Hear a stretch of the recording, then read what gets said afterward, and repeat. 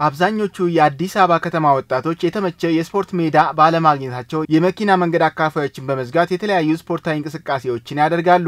በዚህም ለተለያዩ አደጋዎች ተጋላጭነታቸው ከፍተኛ ነው። ገሚሶቹም ጊዜያቸውን ባልባሌ ቦታ ለማሳለፍ ይገደዳሉ። ለተለያዩ ሱሶችም ተጋላጭ ይሆናሉ።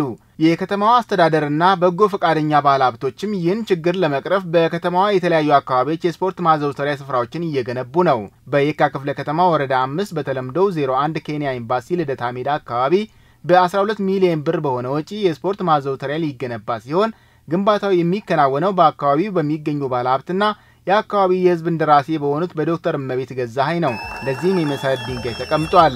በመርሃ ግብሩ ላይ የተገኙት የአዲስ አበባ ከተማ ምክር ቤት ምክትል አፈ ጉባኤ ወይዘሮ ፈይዛ መሐመድ ባለሀብቱ በተለያየ የልማት እንቅስቃሴዎች ላይ በመሳተፍ እያከናወነ ያለው የበጎ ፍቃድ ተግባር ለወገን አለኝታነቱን የሚያሳይ መሆኑን ገልጸዋል። ባለሀብቱ መንግስት ይፋ ባደረጋቸው የበጎ ፍቃድ ስራዎች ሁሉ እየተሽቀዳደመ በመሳተፈት ረገድ ታሪክ የማይረሳው አሻራ አኑሯል።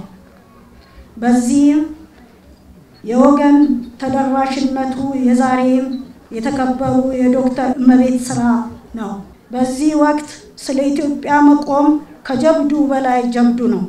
በተለይም ለወገን ተደራሽነትን ለሀገር አለኝታነትን ማሳየት ደግሞ ከጦር ግንባሮች ሁሉ የተለየ የጦር አውድ ነው።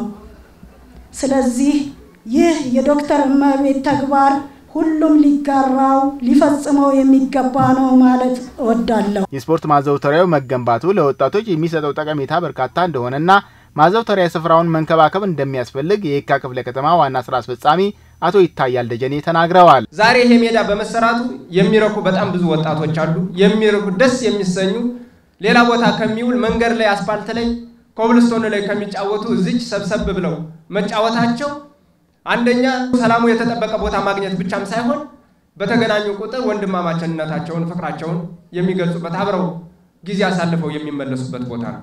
ስለዚህ ትልቅ ትርጉም አለው። ይሄንን ነገር አስተባብራችሁ ለዚህ ፍጻሜ ያበቃችሁ እስከ መጨረሻው ድረስ አገልግሎት እስከሚሰጥ ድረስ ይህንን መልካም ነገራችሁን አጠናክራችሁ እንድትቀጥሉ ፈልጋለሁኝ።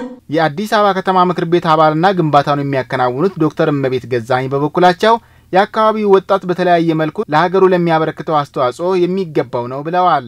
ይሄ ወጣት ያዳነው ሀገሩ በሁለት መልክ ነው። አንድም ነፍሴን በስጦታ እሰጣለሁ ለሀገሬ፣ ነፍሴን ሰጥቻለሁ በቃ። ሁለትም ደግሞ ብልጽግናን መርጬ አገሬን እታደጋለሁ። ሁሉ ግን ኢትዮጵያ ያዳናችሁ ወጣቶች ይሄ ያንስባቸዋል።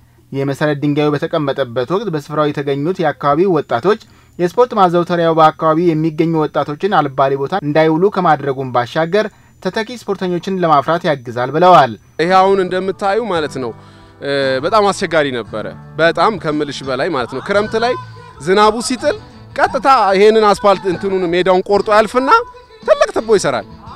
በቃ ለኳስ አይመችም። ብዙ ሰው ይጎዳ ነበረ። ጤናን ይጠብቃል፣ ውበትም ነው።